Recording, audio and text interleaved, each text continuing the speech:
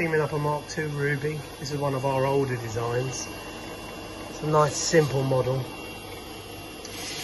Filled up the displacement lubricator which is there on the main steam pipe.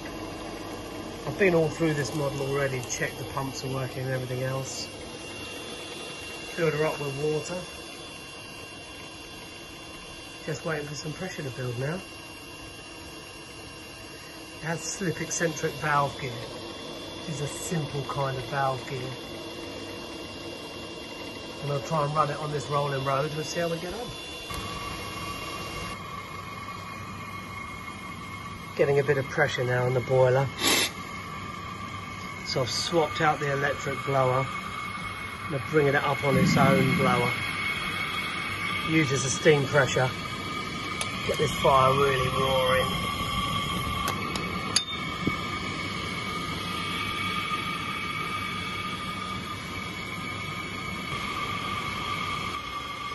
Slight issue, gland nut came loose on the cylinder. We've just tightened that up to just make sure that's working okay. So, we're back on again, get her up to speed.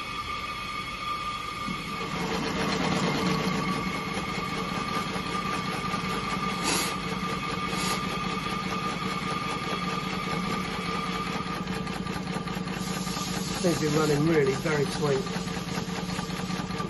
It's pump working.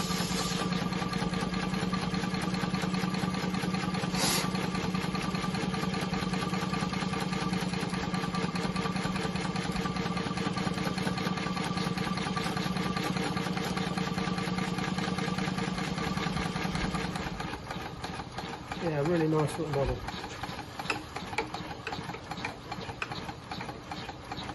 Hand pump's working fine.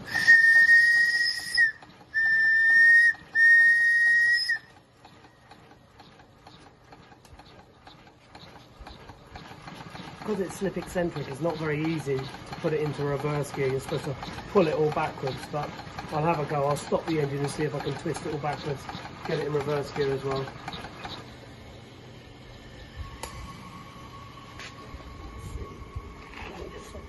Try not to catch my fingers in it. Okay, let's give it a go. There's the reverse gear as well.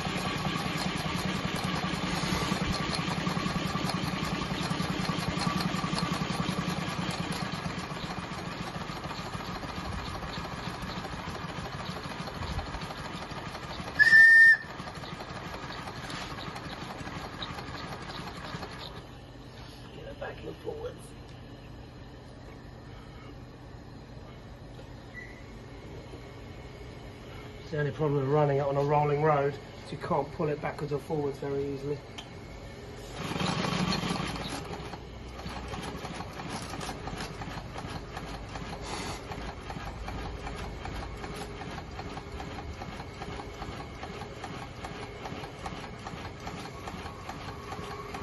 A little bit of blower to keep the fire going.